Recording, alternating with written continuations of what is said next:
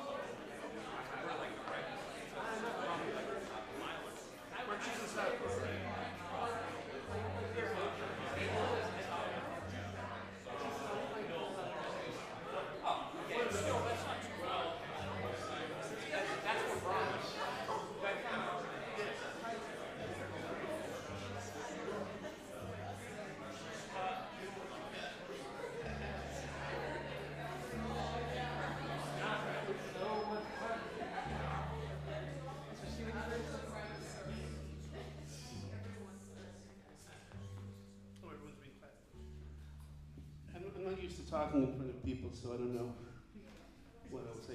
Hi, I'm uh, Mark Shilansky. Thanks so much for coming. In, uh, in 1983, my piano teacher told me that I should go to the. Um, is that Eric Von Thank you so much. Um, that told me that I should see a concert at the University of New Hampshire at a thing called Summer Youth Music School, SYMS. And uh, I was totally blown away by it, and I decided to go to SYMS for the next four summers. And then I couldn't leave campus, so I went here for undergrad, and then I went someplace else for grad school. And then uh, I couldn't leave campus after that. Dave Seiler and Paul Verrette and various people like that kept bringing me back. And then eventually they hired me to teach stuff here. And so I've been doing that since 2002. And now, so that's just over, I guess this is my 20th year here. And um, the state of New Hampshire still is the state that funds their colleges, their state colleges, the least out of any state in the union. So that hasn't changed either.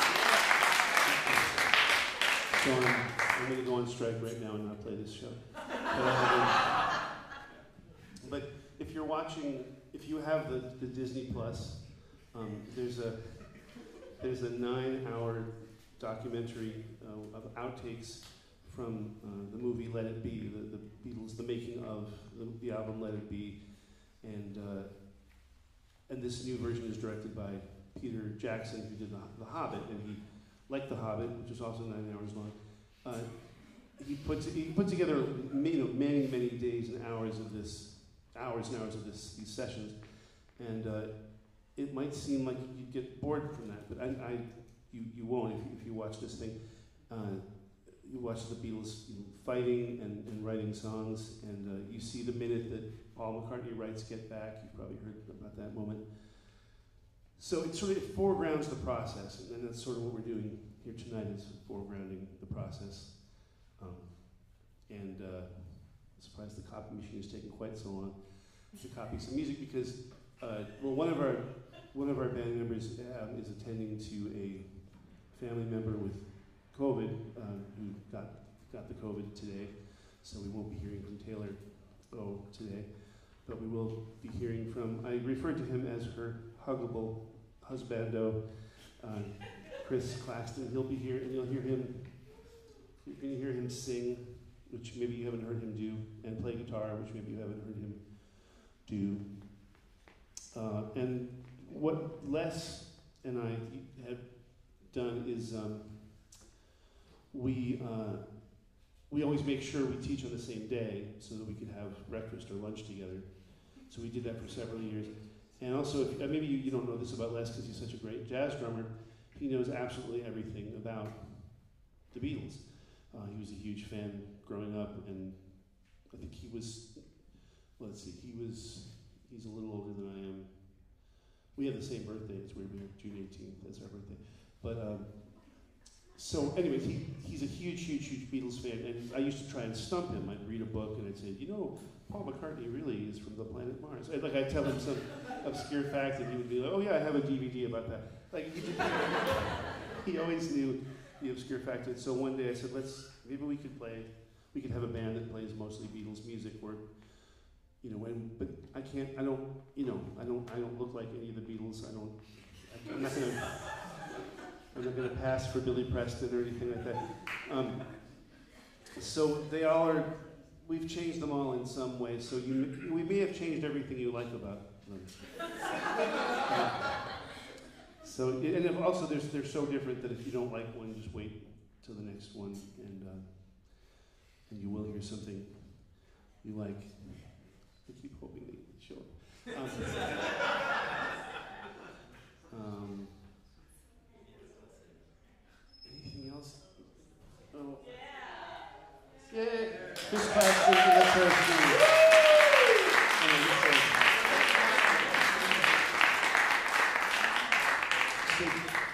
John Lennon is kind of known for his uh, sometimes being the grumpy member, the darker member of the songwriting duo, Lennon and McCartney.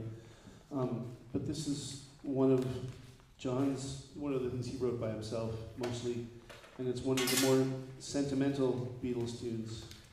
And I won't even tell you what it is because you will recognize it as soon as you hear it.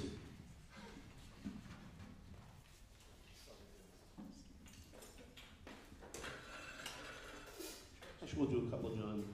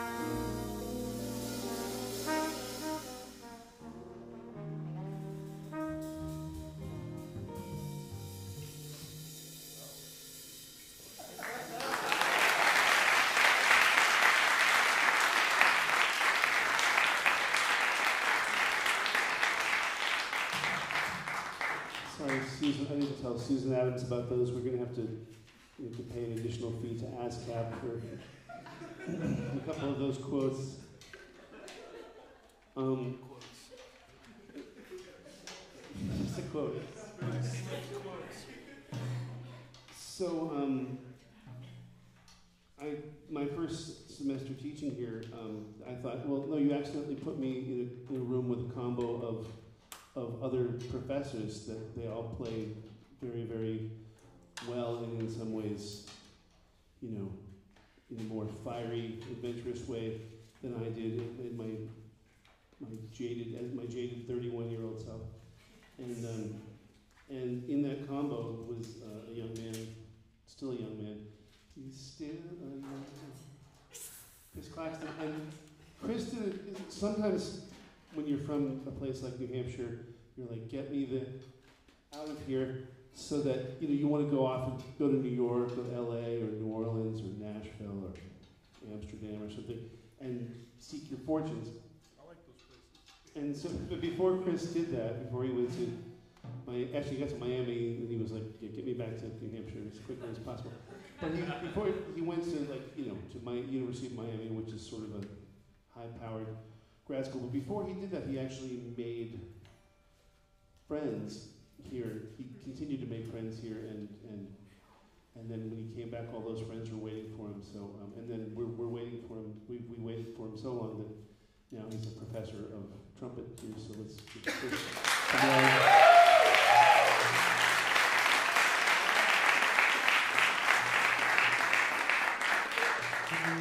and uh, he wrote this arrangement of a John tune called "Don't Let Me Down."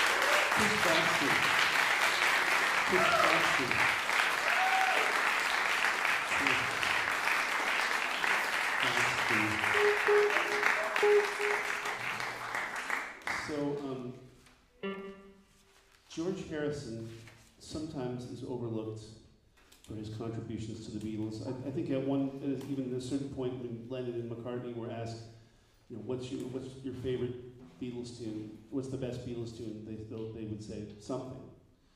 Uh, George George's tune, something. We're, we're not going to do that today tonight. But um, and George sometimes is seen as some sort of malcontent. Um, and these both these both of these tunes are George kind of being they're early George tunes where he's sort of pissed off. One's called "Don't Bother Me." One's called "If I Needed Someone," where they're my heart is broken, just leave me alone. And um, for my money, George says the hippest thing in um, that I've seen so far in the Get Back documentary. John and Paul are sort of talking, arguing um, about um, about the, when they went to India to see the Maharishi, and uh, famously they went there to try to get in touch, in touch with themselves and you know find some outlet for their spirituality. And then they were sort of disillusioned that the Maharishi seemed to be a bit of a, you know, uh, maybe not a charlatan, but maybe he didn't have the, he was sort of flirting with the women and, things like that. Um, and uh, so, and then John sort of sort of started to, to um, mock the Maharishi a little bit. Like he would dress as a dress in these you know outrageous outfits and take notes in a very obvious way. And, and uh, Paul said, "Well, maybe we should have taken it more seriously. We would have gotten more out of it." And George is just listening, taking this all in, and he says, "Yeah, that's rich, isn't it? Uh, getting in touch with yourselves, you know, finding finding out who you, you, you really were, um, as if. But the thing is that if we really got in touch with ourselves and figured out who we really were, we wouldn't need all of this." And he points to all the cameras, and and it kind of, you can see it on Paul and John's face. And like, "Wow, this guy's right." Like when when is it enough? You're the biggest pop group ever. They're trying to write an album in two weeks. That's supposed to be their best album. They're, they're trying to they're constantly trying to top themselves, and uh, you know what hole in themselves are they trying to fill? You know, um, which is I ask myself this whenever I plan a recital and think I have to. I know I've done these before and they came out well, but if this one doesn't come out well, then I really suck. So, anyways, think about all that as I sing this. Mostly, actually, without the, I'm going to sing this without the top voice. But um, actually, what, what, what, what, well, do whatever voice you want to do. Okay. Do your Kermit Minus voice. one voice. A better chance of. So this is what the kids the kids today call this a mashup. We, we, we jump back and forth between the different George Harrison tunes, and we're going to feature the quiet Metabeatle uh, Mark Poniatowski on this one.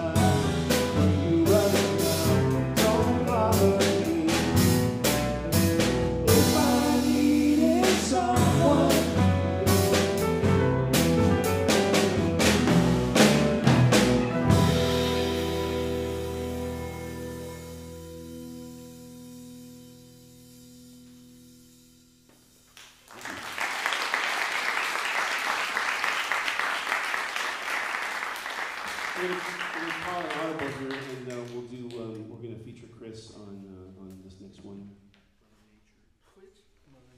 And um, also part of this current iteration, I like to say iteration, iteration of this group was um, sometimes when people love each other very much, they get together and they decide let's create a whole another person.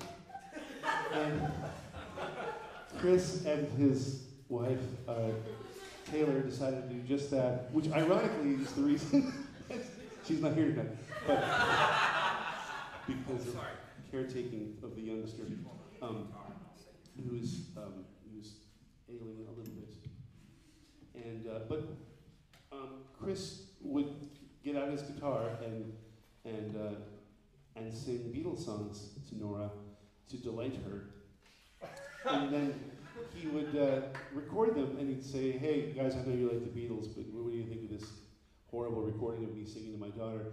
And Les and I were like, "Dude, um, you kind of have to bottle that and let people hear it because it's uh, it's pretty beautiful." Uh, anyways, uh, this is called Mother Nature's Son.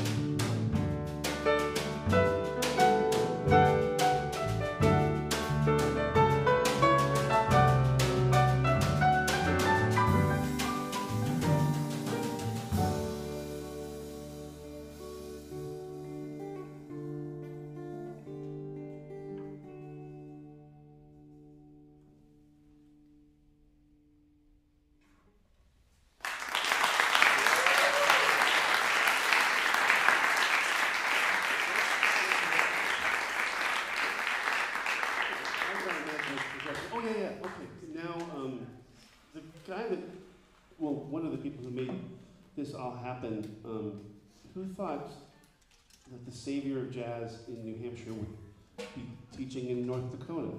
South, South Dakota. South Dakota. Sorry. Um, and I remember we Nate came and he did his presentation to audition here, and Chris Keys came up to me and said, "When you were playing with Nate, it was like watching dolphins play in the surf." He was- Uh, maybe hopefully Chris is watching. I told Chris we were going to play a couple of his arrangements tonight, and we said, and then there was no time to rehearse them. But um, Chris Keys has Chris, Chris has arranged a number of Beatles tunes, and because I kept urging him to do it, so he would we would play them, and then he said, "What do you think of all these?" And I said, "Who are you, man? Didn't you retire? Get, get out of my, get out of my-" No, but anyways, this is a song about.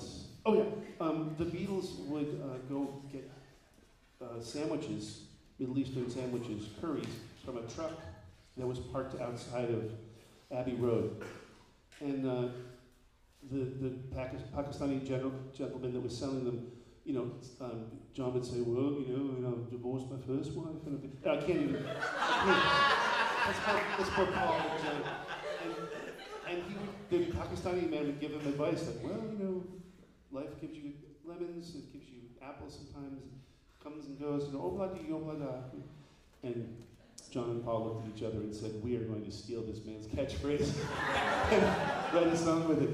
And uh, but Les tells me, like he told me at the last gig on stage that in fact they did give him a cut of the of the songwriting royalties on this, so that's nice. Paul fought them in court over it for years, but, no. No, but maybe I don't know.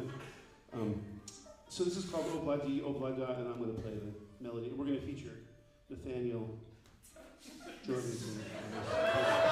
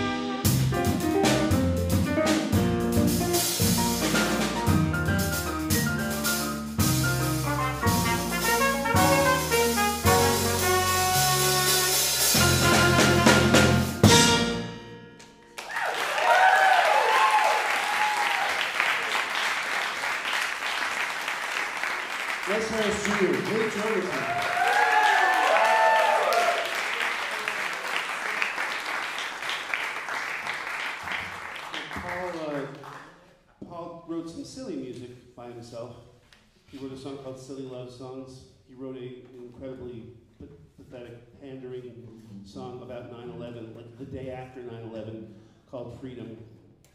Uh, he wrote a Christmas tune that everybody hates but me and Les, called, called Wonderful Christmas. And, and, uh, and then he wrote, he wrote this really great tune about five or six years ago called Jenny Wren. And uh, quick story about Nate, also, I'm going to praise Nate again.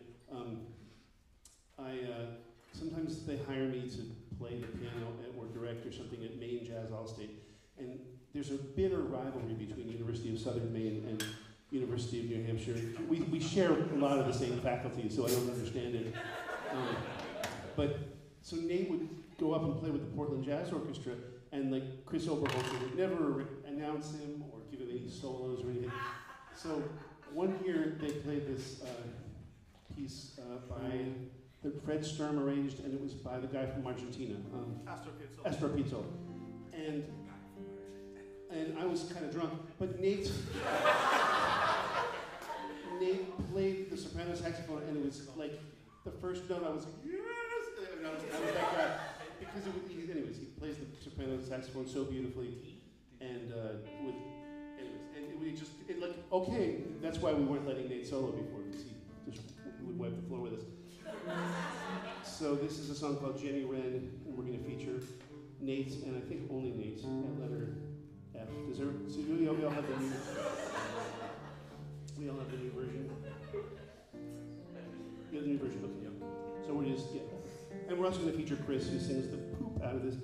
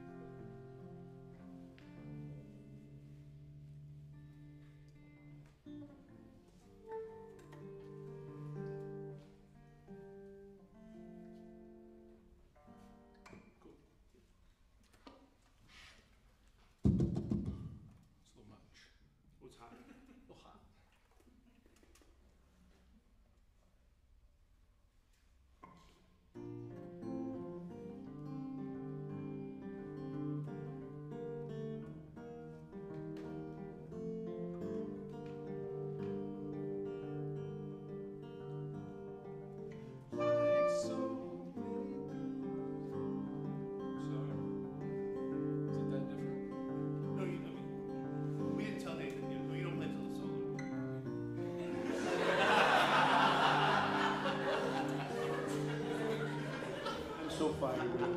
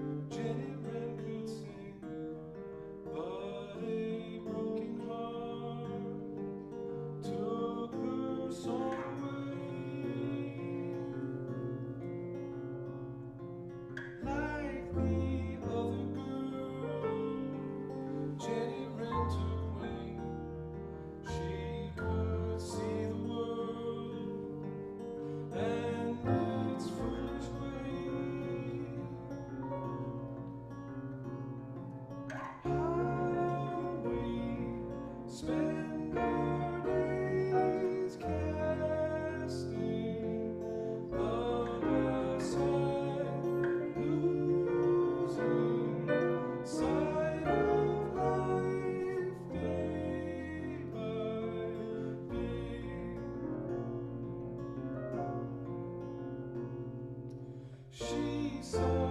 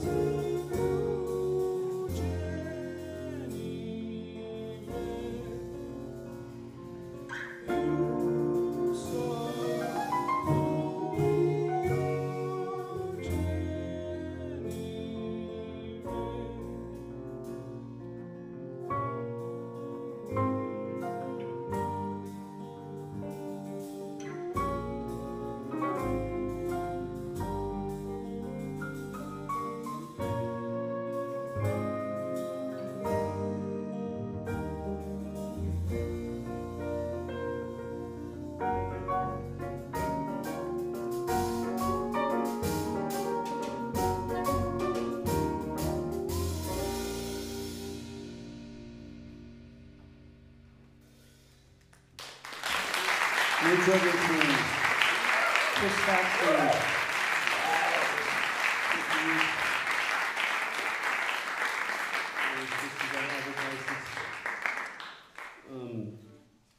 so we're about to come to the end, and we're going to literally play a song called "The End." And uh, this is much of the second side of um, of Abbey Road. And uh, if you know the words, sing along. There's a couple crowd vocal things. We're going to sing "Carry That Weight." So if you know that part, boy, you're going to carry that weight, carry that weight. And then the important last words of the song, which I think is important and important when we think of Mussolini 2.0, who, but this time it's a woman, um, in Italy. Um, when we think of a person in Florida throwing sand in the gears of the legal system to buy him a little time before he flies to Russia and hides out from us for the rest of his miserable life. When we think of things like that, we have to remember that they're going to get what's coming to them, uh, not at the mercy of my fists, but probably, but um, because the in the end, the love you make, the love you take.